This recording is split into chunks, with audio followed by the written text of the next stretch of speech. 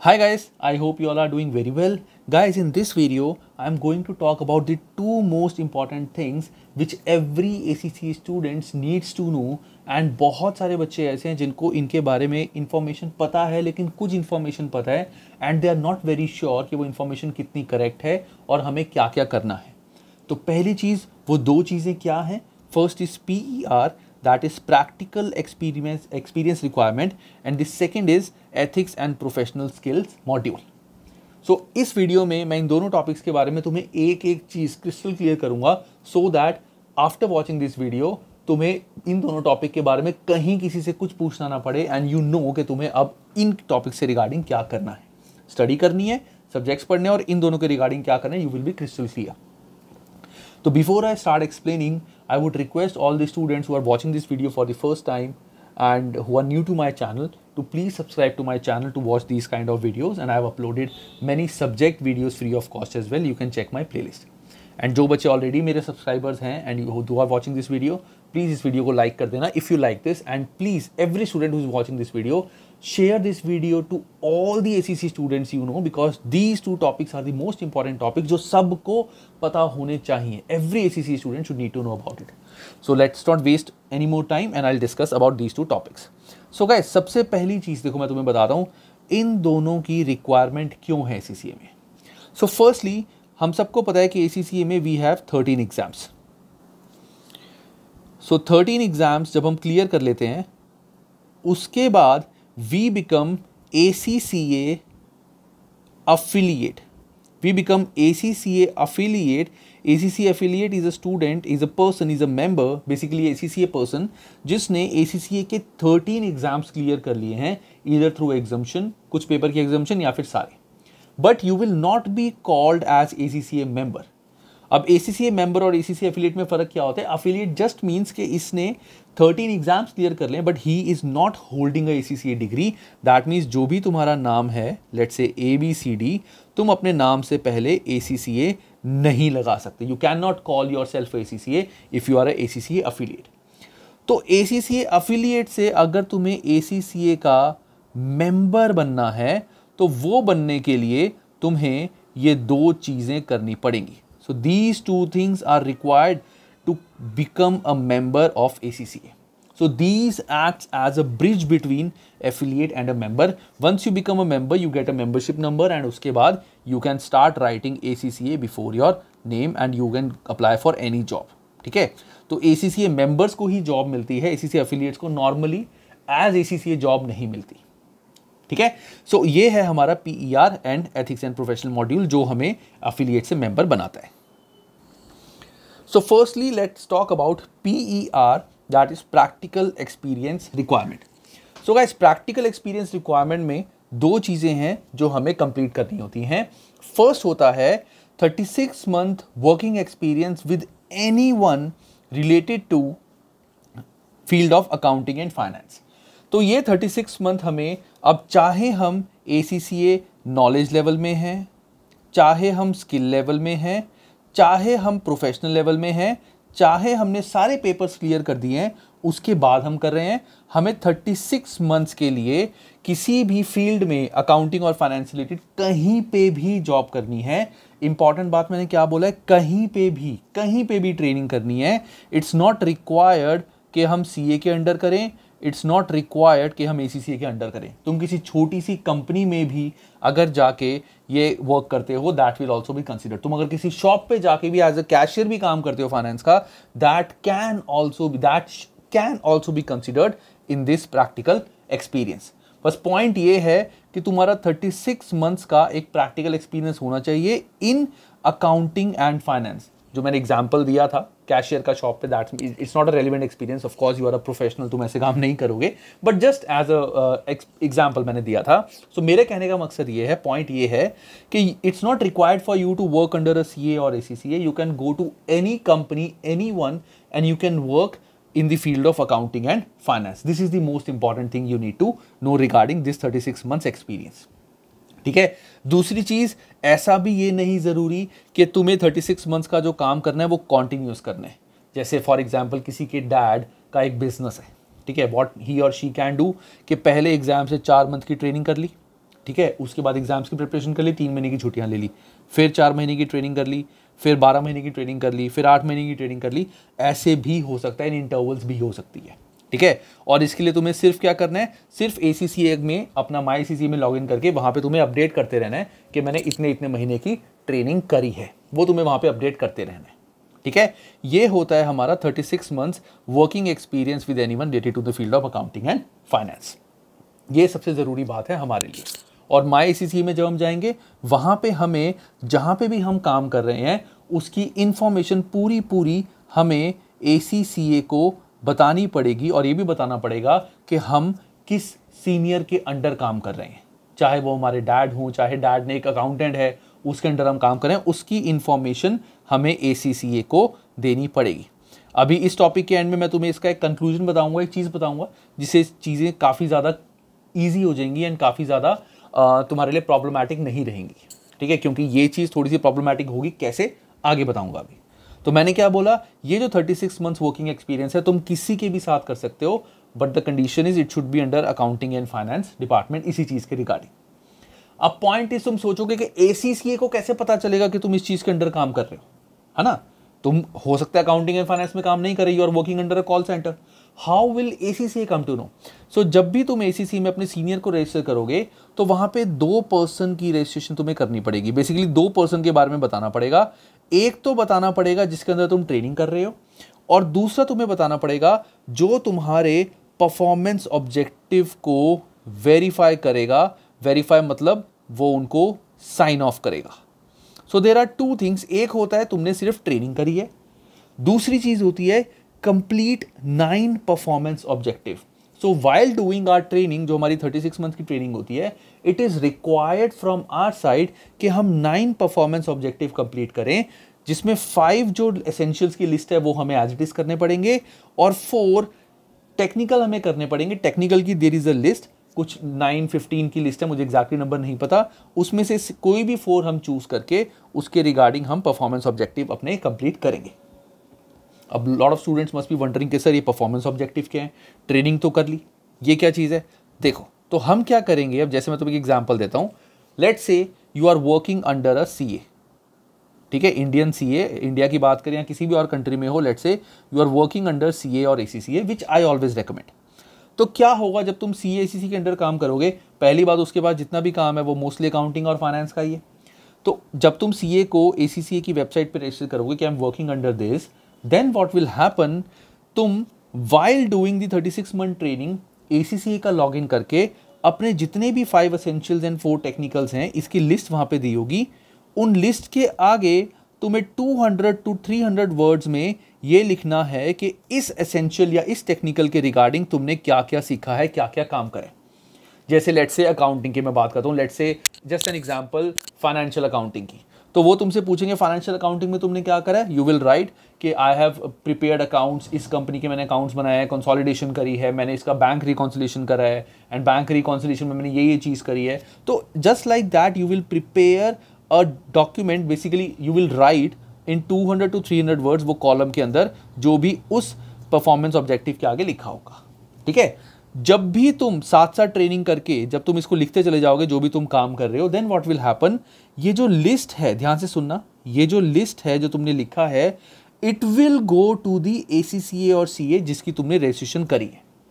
So point is तुम ये 36 months की जो ट्रेनिंग है, ये किसी के भी अंडर कर सकते हो नॉट एट ऑल रिक्वायर्ड कि वो सी होना चाहिए, लेकिन जो ये परफॉर्मेंस ऑब्जेक्टिव हैं, ये जब तुम करोगे फाइनल फिल करोगे और सबमिट करोगे it will go to a ACC और सीए जिसके जो तुम्हारा एक सीनियर होगा। तो पॉइंट इज़ अगर तुम या तो ए एसीसी और सीए के अंडर काम करते हो तो तो वही तुम्हारा सीनियर है जो तुम्हें काम सिखा रहा है और वही तुम्हारा है जो परफॉर्मेंस ऑब्जेक्टिव वेरीफाई कर रहा है।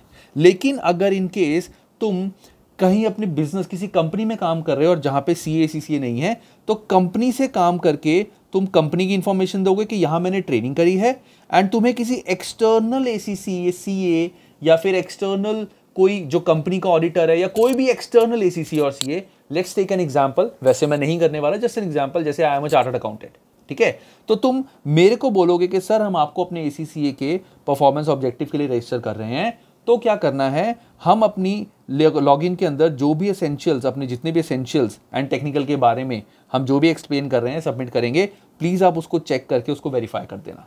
It is checked and verified only by A C C A और C A it can not be checked और वेरीफाइड बाय और सीनियर अगर वो ए सी सी सी ए नहीं है। ठीक है? तो ये चीज़ आई होप अब तुम्हें क्रिस्टल क्लियर होगी होगी कि दो चीज़ें हैं कि तुम्हारे को 36 मंथ्स का वर्क एक्सपीरियंस करना है, जो तुम एसीसी में अपडेट करते रहोगे कि मैंने ये करा है। साथ साथ इस एक्सपीरियंस के जो भी तुम्हारे एसेंशियल्स और टेक्निकल जो भी तुम काम कर रहे हो, उसकी लिस्ट तुम्हें फिल करनी पड़ेगी एसीसी के लॉगिन में ही। Once you fill this and submitted it will go to your C A C C A जो तुमने रजिस्टर करे हैं कि ये इनके गाइडेंस में मैं काम कर रही हूँ और इनको सारी इन्फॉर्मेशन पता है। ही विल अप्रूव दैट कि हाँ इसने ये ये चीज़ करी है एंड ये चीज़ इसने सीखी है। आई एग्री ऑन दैट उसके बाद ही तुम्हारा पी ई आर कंप्लीट होगा। ठीक है? उसके बाद ही तुम्हारा पी ई आर कंप्लीट होगा। So this is like a internship और आर्टिकलशिप जो नॉर्मली सी एस को करनी पड़ती है। ठीक है?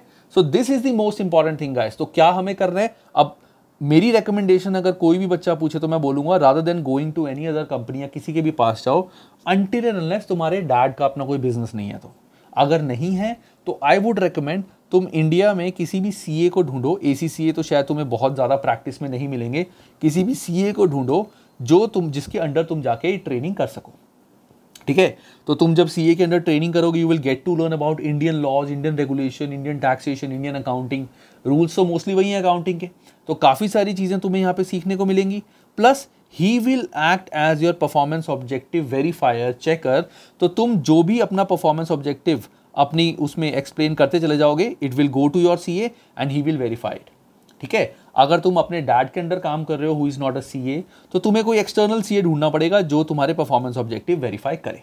तो my recommendation is always find a CA जिसके अंदर तुम्हें ट्रेनिंग कर सको। It would be good for every ये है हमारा परफॉर्मेंस प्रैक्टिकल एक्सपीरियंस रिक्वायरमेंट ठीक है? Everything is available on ACC portal तुम एसीसी की साइट पे जाके अगर पीईआर भी सर्च करोगे, तुम्हें पूरा उसका डॉक्यूमेंट मिल जाएगा। ठीक है? आई डोंट आई थॉट कि मैं उसका जो लिंक है, वो अपने डिस्क्रिप्शन में डाल दूँ but I want you to search search करोगे, ज़्यादा चीज़ें समझोगे, वहाँ पे जाओगे, वहाँ पे सारी चीज़ें ये एक्सप्लेन की हुई हैं। तो ये तुम्हारा पूरा पूरा क्रक्स है regarding practical experience requirement portal में जाना है पोर्टल में जाके अपने सीनियर को रजिस्टर करना है, अपने एसीसीए या सीए को रजिस्टर करना है। और अगर दोनों सेम है तो फिर दोनों को सेम रजिस्टर करना है। थर्टी सिक्स मंथ की ट्रेनिंग करोगे ट्रेनिंग के बारे में अपडेट करते जाओगे, मैंने इतने महीने की करी, इतने महीने की करी, इतने महीने की करी, इतने महीने की करी। और उसके बाद जो भी तुम्हारे परफॉर्मेंस ऑब्जेक्टिव हैं five essential and four technical मतलब टोटल नाइन इनके बारे में एक्सप्लेन करते चले जाओगे कि तुमने क्या क्या लिखा है वो बॉक्स में। और जैसे ही तुम सारा फाइनल करके इसको सबमिट करोगे हर एक को it will go to your A C C A या सी ए जो तुम्हारा ए सी सी या सी ए है ही विल वेरीफाइड एंड उसके बाद तुम्हारे प्रैक्टिकल एक्सपीरियंस कंप्लीट हो जाएगा। अब कुछ बच्चों के माइंड में डाउट होगा कि, सर, जो ये प्रैक्टिकल एक्सपीरियंस रिक्वायरमेंट है, क्या इसके लिए हमें कुछ पैसे मिलेंगे? ऑफकोर्स तुम्हें कुछ पैसे मिलेंगे बट डू नॉट एक्सपेक्ट कि तुम्हारे को बहुत अच्छा अमाउंट मिलने वाला है। मतलब अगर तो तुम किसी नॉर्मल नॉर्मल सी ए या ए के अंडर काम करोगे तो he will not be paying you much because definitely तुम उसके परमानेंट एम्प्लॉय नहीं हो। वो तुम्हें काम सिखा रहा है। कोई भी पर्सन अगर तुम्हें काम सिखा रहा है तो definitely he will not pay you technically तो ये होता है ना, अगर हम कुछ सीख रहे हैं तो हमें ये थोड़ी, अब मैं तुम्हें ट्यूशन दे रहा हूँ और मैं ही तुम्हें पैसे दूँ। ऐसा नहीं होता ना। बट वो तुम्हारे को कुछ अमाउंट देंगे बिकॉज़ जो तुम सीखोगे, वो काम तुम उनके लिए ही करोगे। अगर तुम, उन्होंने तुम्हें अकाउंटिंग सिखाई तो ही विल एक्सपेक्ट तुम उनके क्लाइंट्स के लिए अकाउंटिंग करोगे। तो दैट्स वाई दे पे अ some amount they pay you some amount but वो अमाउंट बहुत ज़्यादा हाई नहीं होने वाला।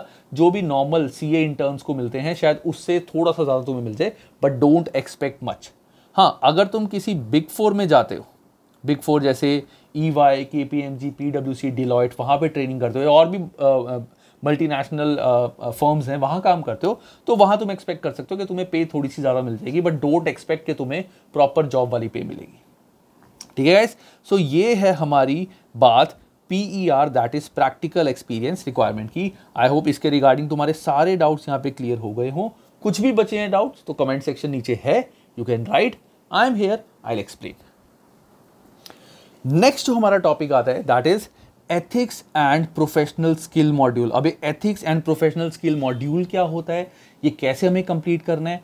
ये क्या है? क्या इसकी कुछ फ़ीस है? क्या इसकी बुक्स हैं? क्या इसके एग्ज़ाम्स होते हैं? वो सारे क्वेश्चंस मैं यहाँ पे क्लियर करूँगा।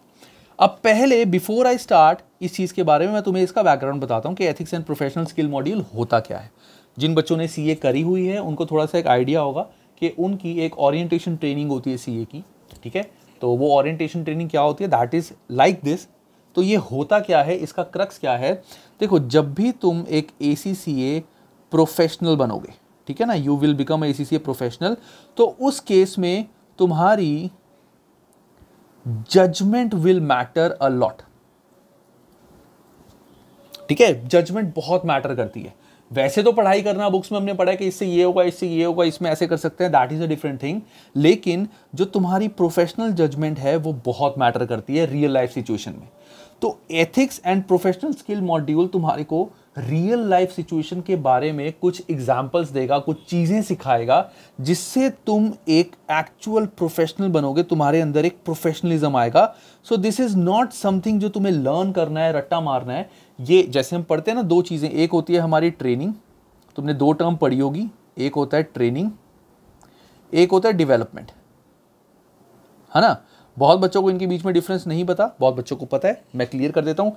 ट्रेनिंग मीन्स तुम्हें किसी एक पर्टिकुलर चीज़ के लिए कुछ सिखाना, जैसे मान लो मैं F R F M A M P M ये तुम पढ़ रहे हो, सीख रहे हो लर्न कर रहे हो, तुम पर्टिकुलर चीज़ सीख रहे हो। डेवलपमेंट मतलब जैसे मैं तुम्हारे को बता रहा हूँ you should have good communication skills तुम्हें दूसरे बंदे से बात कैसे करनी है? तुम्हें दूसरे बंदे को जब भी तुम्हें you should be a good listener जब भी कोई तुमसे बात कर रहा है ऑलवेज लिसन फ़र्स्ट वो क्या कहना चाह रहा है, उसका प्रोस्पेक्ट समझो एंड देन उसको जवाब दो. हमेशा अपने प्रोस्पेक्ट से जवाब ना दो. ऐसी चीज़ें अगर मैं तुम्हें बताऊँगा, उससे तुम्हें कोई स्पेसिफिक चीज़ ही सीखने को मिल रही, उससे तुम्हारी ओवरऑल ओवरऑल पर्सनैलिटी डेवलप हो रही है. है ना? तो ट्रेनिंग तो हमारी सारी पेपर्स में हो जाती है, जो हम थर्टीन पेपर्स देते हैं सब्जेक्ट वाइज लेकिन हमारी डेवलपमेंट कैसे होगी that will be done through ethics and professional skill module ठीक है? तो इसमें हमें क्या होगा? हमें रियल लाइफ सिचुएशन के बारे में बताया जाएगा। चलो, इसका मैं तुम्हें एक एग्ज़ाम्पल देता हूँ। जैसे मेरे से किसी ने पूछा था ये चीज़, बड़ा अच्छा एग्ज़ाम्पल था। देखो जस्ट एन एग्ज़ाम्पल कि किसी एक पर्सन का, मेरा एक क्लाइंट है। ठीक है? जस्ट एन एग्ज़ाम्पल मैं बता रहा हूँ इसको this is for just your knowledge इसको कोई नेगेटिव इसका मत लेना। मेरा एक क्लाइंट है, उसका let say income tax department में केस लगा हुआ है। ठीक है? और इनकम टैक्स डिपार्टमेंट वालों ने बोला है केस लगा हुआ है उसका, और केस में बोला है कि इसकी जो पेनल्टी है, जो इसको पे करनी है गवर्नमेंट को, वो पे करनी है लेट से ट्वेंटी लाख कितनी पे करनी है उसको? ट्वेंटी लाख ठीक है?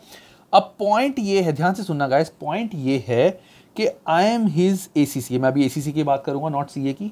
I am A C C ए मुझे पता है कि जो उसका केस लगा है इनकम टैक्स डिपार्टमेंट में इफ़ आई फाइट अगर मैं वो केस फाइट करूँ सो देर आर चांसेस कि शायद वो केस मैं 60 टू 70 परसेंट जीत जाऊँ। देर आर चांसेस कि मैं 60 टू 70 परसेंट केस जीत जाऊँ। ठीक है? और अगर ऑफकोर्स मैं केस जीत गया तो क्लाइंट को कुछ भी नहीं देना पड़ेगा, या हो सकता है बहुत कम पैसे देने पड़े। दूसरा मुझे एक तरीका क्या पता चला, ये मैं रेड से मार्क कर रहा हूँ which is a wrong thing income tax department का जो पर्सन था, उसने बोला, उसने ब्राइबरी की बात करी, उसने बोला कि देखो, आपके क्लाइंट को दो लाख रुपए देने, आप एक काम करो, एक लाख रुपए मुझे दो, ठीक है? और आप अपनी फ़ीस भी चलो, एक लाख, डेढ़ लाख, हालाँकि वो हमारे ऊपर बात है, आप हमें एक लाख रुपए दो, और एक लाख की फ़ीस आप अपने पास रख लो, क्लाइंट से सिर्फ़ दो लाख रुपए लो, ठीक है? दो लाख रुपए क्लाइंट से लो, एक लाख आप रखो, एक लाख हमें दे दो और हम उसका केस विड्रॉ कर लेंगे या केस खत्म कर देंगे। कुछ भी कर देंगे एडजस्टमेंट तो क्लाइंट का भी फ़ायदा होगा बीस लाख देने की वजह सिर्फ़ दो लाख देने। आपका भी फ़ायदा होगा, मेरा भी फ़ायदा होगा, कोई मेहनत नहीं करनी।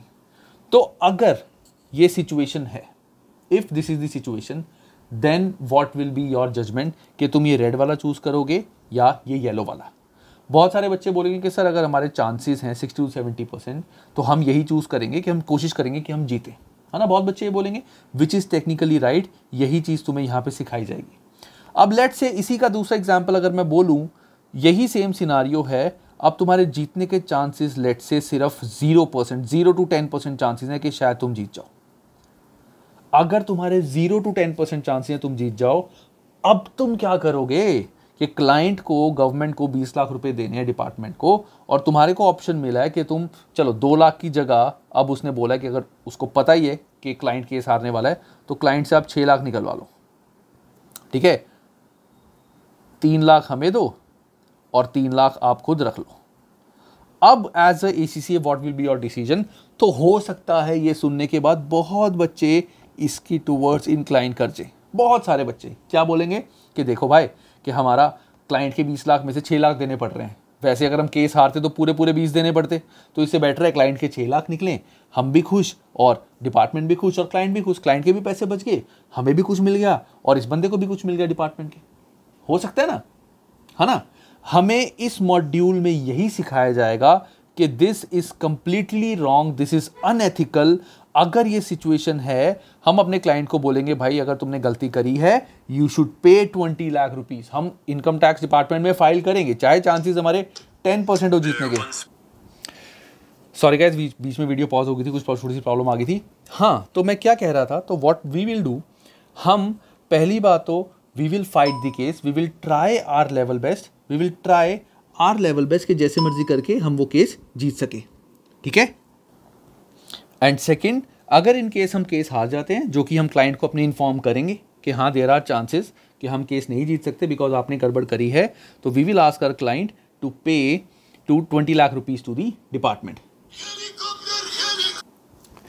so हम क्लाइंट को बोलेंगे कि तुम ट्वेंटी लाख रुपीज़ गवर्नमेंट को दो बिकॉज़ दैट्स योर पेनल्टी ठीक है? सो ये जो मैंने तुम्हें एग्ज़ाम्पल दिया है ये चीज़ हमें सिखाएगा ethics and professional skill module तो जब हम ये पढ़ेंगे, इसमें क्या है? इसमें बहुत सारी वीडियोस हैं जो हमें देखनी पड़ेंगी, जिससे हमें प्रैक्टिकल सिचुएशंस के बारे में पता चलेगा, थोड़ी बहुत रीडिंग वाली बुक्स होंगी जो हमें पढ़नी पड़ेंगी, जो हमें सिर्फ़ अपनी डेवलपमेंट में काम आएँगी कि एज अ प्रोफेशनल हमें क्या क्या करना चाहिए, हमारी क्या क्या रिस्पॉन्सिबिलिटीज़ हैं। तो होगा क्या? जब भी तुम अपना मॉड्यूल क्लियर करोगे तो मॉड्यूल के साथ साथ you will get a check list एक तुम्हारे लिए छोटा सा क्वेश्चन होगा उस मॉड्यूल का, जिसमें एक चेक लिस्ट होगी, जिसमें लिखा होगा येस और नो तो ये नहीं है कि तुम्हें बड़ा क्वेश्चन है, तुम्हें बहुत बड़ी एक्सप्लेनेशन देनी है, कुछ देनी है मार्क्स लगते हैं, ऐसा कुछ नहीं है। तो सिंपल क्या होगा कि तुम्हारे को एक सिचुएशन बताई होगी और तुमसे पूछा जाएगा जस्ट एन एग्ज़ाम्पल कि यू शुड डू इट और नॉट तो इफ़ येस तो तुम करोगे नो मतलब नहीं करोगे। ऐसे तुम्हें क्वेश्चन सॉल्व करने पड़ेंगे। And at the end of the day जो भी इसका रिज़ल्ट आएगा, अगर तुम्हारा क्लियर हो गया तो ओके नहीं क्लियर हुआ तो तुम्हें दोबारा से ये स्किल मॉड्यूल करना पड़ेगा। ठीक है, दोबारा से वो मॉड्यूल देखने पड़ेंगे और दोबारा से येस नो करना पड़ेगा। हो सकता है जो क्वेश्चंस पहले पूछे गए थे वो अब चेंज हो जाए।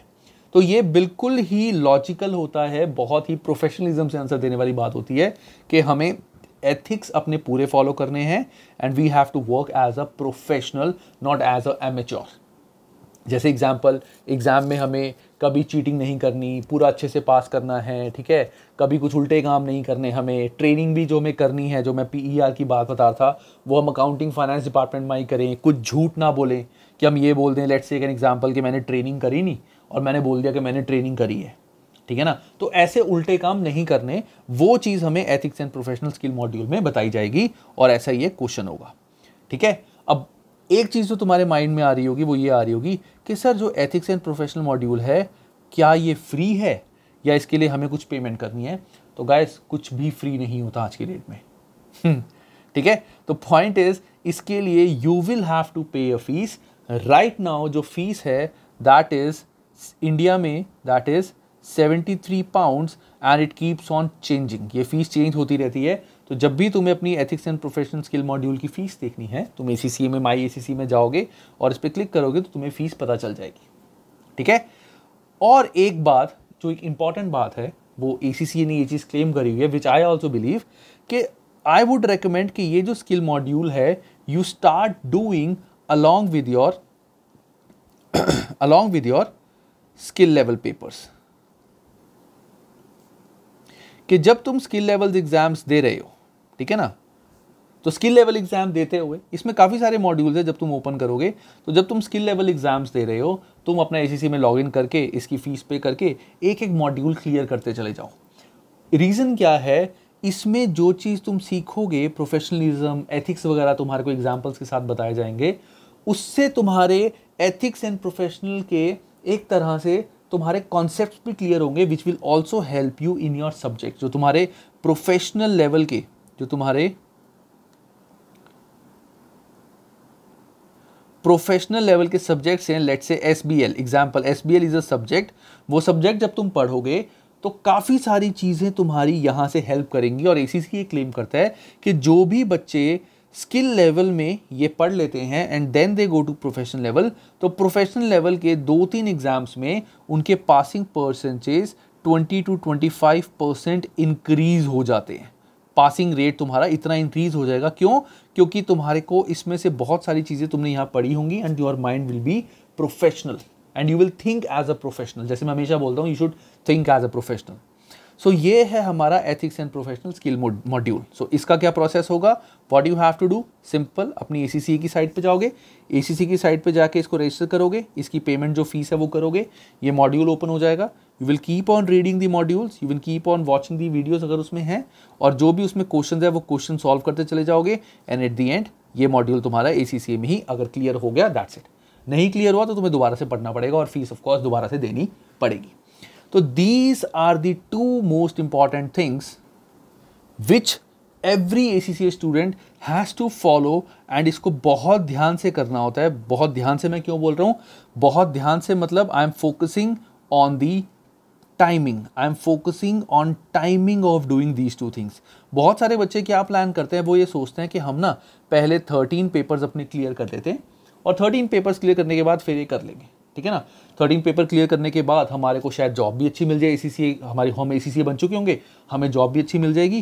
दैट इज़ रॉन्ग एसीसीए जब तक तुम मेंबर नहीं बनोगे, तब तक तुम्हें प्रॉपर ए की जॉब नहीं मिलने वाली और मेंबर बनने के लिए तुम्हें ये दोनों चीज़ें करनी पड़ेगी। हाँ ये है तुम्हारा पैकेज थोड़ा सा बढ़ जाएगा but that will not be on the level of a A तो I always recommend to my students कि जब वो स्किल लेवल के एग्ज़ाम्स दे रहे हैं और स्किल लेवल की प्रिपरेशन कर रहे हैं, तब से they can start working on these two things ethics and professional skill module and P E so, होता क्या है जब तुम एक ही सब्जेक्ट को बार बार पढ़ रहे हो जैसे you are studying for F R और you are studying for let say P M पढ़ रहे हो तो पूरा हफ़्ता जैसे मानो तुमने सोचा है कि दो महीने में मुझे पी एम करना है and you are studying only P M तो होता क्या बहुत बार स्टूडेंट फील कि यार एक ही चीज़ को बार बार पढ़ रहे हैं मोनोटनस टर्म हो रही है बोर हो रहे हैं तो तुम क्या कर सकते हो संडे संडे को अपना ethics and professional skill module धीरे धीरे सॉल्व कर सकते हो और वहाँ पे इसको क्लियर कर सकते हो। ठीक है दिन भी अच्छा निकल गया कुछ इफ़ेक्टिव भी हो गया। तो तुम्हारी स्किल लेवल और प्रोफेशनल लेवल के साथ साथ तुम्हारी ये क्लियर हो जाएगा इसकी टेंशन खत्म। रही बात इस ट्रेनिंग की ये ट्रेनिंग तुम स्किल लेवल में जब भी तुम्हारे को एक दो महीने की ट्रेनिंग मिलती है किसी भी सी uh, के अंडर तुम उससे बात कर सकते हो। कि मुझे अब सिर्फ़ थोड़ी बहुत ट्रेनिंग चाहिए। मैं एग्ज़ाम्स के लिए एक महीने की छुट्टी लूँगा या लूँगी और बाकी उसके बाद मैं तुम, आपके पास आऊँगी। तो वो साथ साथ तुम स्किल लेवल के करते रहो, क्योंकि ये चीज़ तो तुम्हें करनी ही पड़ेगी। That is very very important ठीक है? एक और चीज़ तुम्हारे लिए professional and skill sorry practical experience के लिए तुम एक और चीज़ क्या कर सकते हो, जो बहुत फीजेबल नहीं है। I am telling you this is not very feasible but this is an option तुम क्या कर सकते हो? तुम फटाफट से अपने थर्टीन पेपर्स क्लियर करो, फटाफट से क्लियर करो, उसके बाद कहीं पे जॉब करो, क्योंकि उनको पता है कि तुम्हारे पेपर्स क्लियर हो चुके हैं तो मतलब तुम्हारे को सिर्फ़ ट्रेनिंग पेंडिंग है और ये ट्रेनिंग होती है, तुम ए बन जाओगे।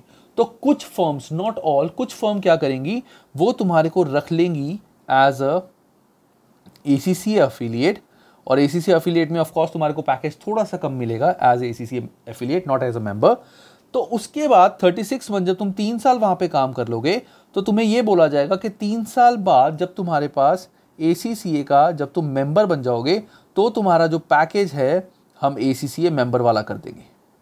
ठीक है? हम ACCA मेंबर वाला पैकेज तुम्हारा कर देंगे after three years once you have this practical experience तो जहाँ तुम काम कर रहे हो, तुम उन्हीं में अपने सीनियर को रजिस्टर कर सकते हो ACCA में, और he will correct he will basically accept all this submission that you will give for जो भी तुम्हारे को परफॉर्मेंस ऑब्जेक्टिव देने होते हैं। तो this can be done but this is just as an option तो आई होप तुम्हारे को ethics and professional skill module and P R that is practical experience requirement इनके बारे में सारी इंफॉर्मेशन तुम्हें इस वीडियो से क्लियर हो चुकी होगी। हो सकता है वीडियो थोड़ी ज़्यादा बड़ी बन गई हो, थोड़ा ज़्यादा तुम बोर हो गए हो बट मैं तुम्हारे को बिल्कुल हर तरीके से क्रिस्टल क्लियर करना चाहता था, हर तरीके से एग्जाम्पल्स देना चाहता था इन दोनों के लिए, ताकि तुम्हारे को आगे कभी भी इन दोनों से रिलेटेड कोई भी डाउट ना आए। ठीक है गाइस प्लीज़ इस वीडियो को लाइक करना शेयर करना and if you have not subscribe to my channel please subscribe and in case if you like this video and तुम कुछ कंट्रीब्यूट करना चाहते हो तो you can see a thanks button इस वीडियो के नीचे. You can click on that and you can contribute any amount that you feel good चलो bye guys take care and have a great